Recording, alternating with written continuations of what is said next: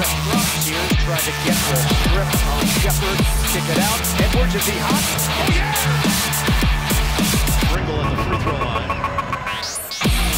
56. Sure what their average would necessarily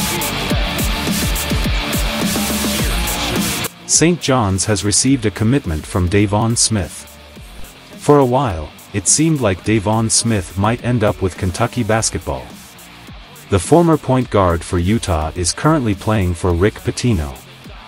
Smith made his St. John's commitment public on Instagram on Monday. He is therefore no longer available to Mark Pope and company. Smith played his college ball for two seasons at Georgia Tech after starting at Mississippi State in 2020-21.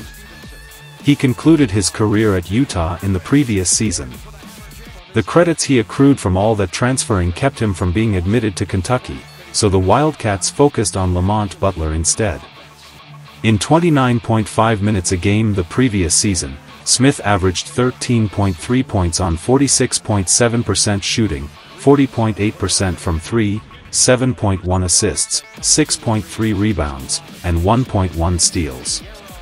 Kentucky, who will now mostly depend on Butler and Kerr Kriisa to handle point guard responsibilities, would have greatly benefited from the acquisition of Smith. Coach Pope may decide to go after another point guard to give the position more depth, so don't be shocked by this.